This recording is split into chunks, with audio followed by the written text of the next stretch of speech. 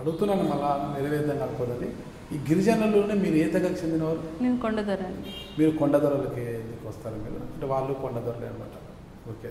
ఇక పాడేరులో ఆ, గిడ్డి ఈశ్వరి గారిని చెప్పండి. ఎలా ఎదుర్కోబోతున్నా అంటే ఇప్పుడు ఆమె మీ పైన ఎదురుదాడి చేయడానికి సిద్ధంగా ఉన్నారనమాట అధికార పార్టీ పైన ఎదురుదాడి చేయడానికి గిడ్డి ఈశ్వరి గారు అస్త్ర శస్త్రాలు సిద్ధం చేసుకుంటున్నారు. మరి ఆవిడ వాగ్దాటి ముందు గొట్టేటి మాధవి గారు నిలబడతారు. చాలా మెల్లగా మాట్లాడుతుంటారు. అధికార పార్టీ ఉన్నప్పుడు మీరు చాలా గట్టిగా మాట్లాడాలి. గిడ్డి ఈశ్వరి గారు అప్పుడే టార్గెట్ చేస్తున్నారు మిమ్మల్ని మీ ఎమ్మెల్యేలని. మరి గిడ్డి ఈశ్వరి గారి ఆవిడ టార్గెట్ అయితే నేను అయ్యి ఉండనండి అంతేనంటారు. ఎందుకలా? ఎందుకలా అంటే ఒక రెండు మూడు సందర్భాల్లో మేము ఎదురు పరిచయం అని కలుసుకునేటప్పుడు నాతో ఆవిడ కానీ నేను ఆవిడతో పాటు ఉండే విధి విధానం బట్టి నన్ను అయితే ఆవిడ టార్గెట్ చేసుకోరని నాకు గట్టి నమ్మకం నాన్నగారు చనిపోయినప్పుడు కూడా వచ్చారు. మాకు సపోర్ట్ అంటే జస్ట్ అంటే అప్పుడు వైఎస్ఆర్సీపీలోనే ఉన్నారు. అంటే అన్ని రకాలుగా సపోర్ట్ చేస్తా అని చెప్పేసి ఆమె అప్పుడు ఎలా ఉన్నారు? వైఎస్ఆర్సీపీ పార్టీలో ఉండి ఎమ్మెల్యేగా వచ్చి మమ్మల్ని ఎలా అయితే ఆ రోజు సపోర్టివ్గా మాట్లాడారో ఇప్పుడు అది వేరే పార్టీలో ఉన్నా సరే నాకు రెండు మూడు సార్లు ఎదురైనప్పుడు కూడా ఆమె నాతో అప్పుడు ఎలా ఉన్నారో తర్వాత కూడా అలాగే మాట్లాడారు. నాతో ఉండే నాతో ఉండే తీరు బట్టి నేను అనుకుంటున్నాను నన్ను అయితే టార్గెట్ చేయరు అని. టార్గెట్ చేస్తే? అంటే ఓడిపోయిన కోపంలో ఉన్నారు ఆవిడ. కసితో ఉన్నారు. ఇక అధికార పార్టీ వాళ్ళు ఏ అంశంలో దొరికినా కూడా డెఫినెట్గా నేను ఎదుర్కొంటానండి. ఎదుర్కొంటారా? Definitely గా మీరు ఇంత నెమ్మదిగా మాట్లాడుతున్నారు అసలు చాలా నిదానంగా మాట్లాడుతున్నారు. మరి గిడ్డీశ్వరి గారి వాయిస్ చాలా పెద్ద వాయిస్. ఆవిడ ఎలా మాట్లాడుతున్నారు వాయిస్ ఎంత పెద్దదని కాదండి. మనం మాట్లాడే మాట మనం చెప్పే ఆన్సర్ ఎటువంటిది అనేది నేను గట్టిగా విశ్వసిస్తాను. కరెక్ట్ చెప్పారండి. ఓకే మీకు హిందీ ఇంగ్లీష్ వస్తుందా? ఇంగ్లీష్ నేను మాట్లాడగలను. హిందీ అయితే మరి నేర్చుకోవాలి. నేర్చుకోవాలి. ఎందుకంటే పార్లమెంట్కి వెళ్తున్నారు కదా మన తెలుగు ఎవరు వినరు అక్కడ. మాట్లాడచ్చు మనం మన తెలుగు మనం మాట్లాడచ్చు ఏం ఇబ్బంది లేదు కానీ. బట్ అయితే ఆడ పూర్తి స్థాయిలో అందరిని ఆకట్టుకోవాలి మనం మాట్లాడే అంశం డెఫినెట్గా రెండు లాంగ్వేజ్లో కూడా. నేను ఖచ్చితంగా. నా ముందున్న పార్లమెంట్ అభ్యర్థననే కాదు.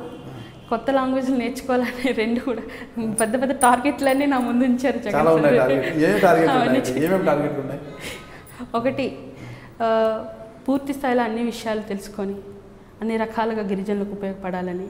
రెండోది నాకు ఎంతవరకు ఉపయోగమో ఆ మూడు లాంగ్వేజ్లు అంటే రెండు లాంగ్వేజ్లు హిందీ ఇంగ్లీష్ మీద పూర్తిగా నేను పట్టు సాధించాలని ఎందుకంటే మన భాషలోనే మన మనం ఏదైనా చెప్పాలనుకుంటే దాని గురించి పూర్తిగా తెలిస్తేనే మనం మాట్లాడగలం చేయగలం. మరి వాళ్ళతో మాట్లాడాలి చేయాలి అంటే హిందీ అయితేనే మనం కరెక్ట్గా మనం వాళ్ళ ముందు ప్రజెంట్ సందర్భాల్లో భాష కన్నా భావం ముఖ్యం అంటారు కానీ పార్లమెంట్కి మనం వెళ్ళినప్పుడు మాత్రం మన భాష ముఖ్యం అనమాట ఒక మినిస్టర్తో కానీ ఎవరితోనో మీరు వెళ్ళి కలిసినప్పుడు ఖచ్చితంగా వాళ్ళతో మాట్లాడడానికి కూడా కాబట్టి పార్లమెంటులో ఏదైనా మీ గిరిజన సమస్యపై మీరు ప్రశ్నలు సంధించాలన్నా ఏదైనా ప్రసంగించాలన్నా కూడా కనీసం మనకు హిందీ కానీ ఇంగ్లీష్ కానీ వచ్చిన తెలుగులో మాట్లాడడానికి పెద్దగా క్యాచ్ చేయకపోవచ్చు. మాట్లాడే హక్కు మనకున్నా కూడా పెద్దగా అయితే. అయితే ఇందుకోసం శిక్షణ ఏమైనా తీసుకుంటున్నారు ఇప్పటి నుంచే? తీసుకుంటున్నానండి. మిమ్మల్ని గెలిపించిన కుంభ రవిబాబు గారు ఇంగ్లీష్లో శిక్షణ ఏమైనా ఇస్తున్నారా మీకు? ఆయన ఉన్నత విద్యావంతులు కదా. సపోర్ట్ చేస్తున్నారు సార్. అంటే ఫర్దర్గా ఇప్పుడు హిందీ ఇంగ్లీష్ నేర్చుకోవడానికి ఏమైనా ప్రత్యేక శిక్షణ తరగతి ఏమైనా తీసుకుంటున్నారా? లేదా మామూలు జనరల్గా నేర్చుకోవాలి జనరల్గా జనరల్గా మీ వివాహం ఎప్పుడు? త్వరలోనే సార్.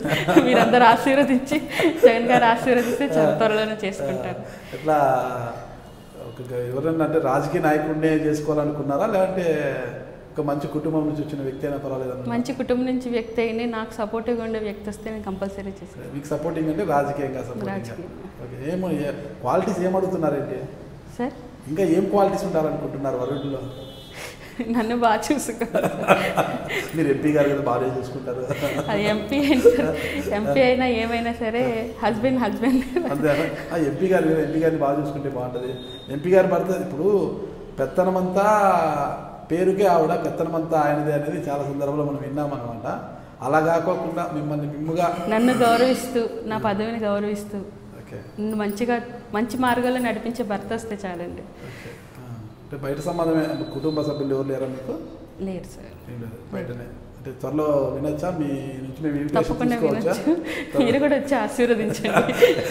పిలుస్తారు మీరు ఎంపీ అయిపోయారు కదా మా లాంటి వాళ్ళు కనిపిస్తాం చిన్న జనరేషన్ ఆ? స్థాయి నన్ను మరి అంత గొప్ప స్థాయి మీరు ఊహించుకున్నందుకు నాకు చాలా సంతోషంగా ఉంది. కానీ నేను అందరినీ గుర్తుపెట్టుకుంటాను. ఎందుకంటే నా స్థానం ఎక్కడి నుంచి మొదలైందన్నది నాకు ఎప్పుడు గుర్తుంటుంది. ఇప్పుడు మీరు కాపురం ఎక్కడ ఉన్నారు? నేను మాది సరబనపాలెం అండి అక్కడే ఉంటున్నాను ఓకే ఆడే ఉన్నారా మీరు?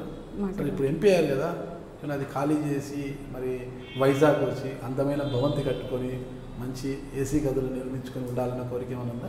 అటువంటిది ఏం లేదండి. అందరికి అందుబాటులో ఉండేటట్టు ఏదన్నా. అందరికి అందుబాటులో ఉండేటట్టు ఎక్కడైతే ఏడు నియోజకవర్గాల్లో ఎక్కడైనా కరెక్ట్గా ఉండే ఫేస్ ప్లేస్ నేను చూస్ చేసుకొని అక్కడ ఉంటాను. మీకు అందరికీ అందుబాటులో అంటే పాడేరే మీకు సెంట్రల్ పాయింట్ అంటుంటారు కదా? మరి పాడేరు పాడేరు డెఫినెట్గా ఆఫీస్ పెట్టుకుంటాను. ఆఫీస్ ఒకటే. ఇల్లు? ఇల్లు తర్వాత అండి నేను అందమైన అయ్యారు కదా? దండికి డబ్బులు వస్తాయి? ఆదాయం అందు అందుబాటులో ఉండాలండి తర్వాత మనం భవంతుల గురించి తర్వాత. మీరు చూస్తున్నారు ఐ డ్రీమ్ న్యూస్ని మీరు చూస్తున్నది ఐ డ్రీమ్ న్యూస్. అంటే కళలని నిజం చేస్తూ ప్రజలకి నిజాలని కళల ద్వారా తీసుకొచ్చే ఐ డ్రీమ్కి మై బెస్ట్ విషెస్. మీరు చూస్తున్నది ఐ డ్రీమ్ న్యూస్. మీరు చూస్తున్నారు I Dream channel. For more videos please subscribe I Dream మరిన్ని వీడియోల కోసం ఐ డ్రీమ్ని సబ్స్క్రైబ్ చేయండి. Please subscribe I Dream and I very much satisfied with the way interview went on kindly subscribe to I Dream for more videos subscribe to I Dream and loads of fun entertainment and content do watch I Dream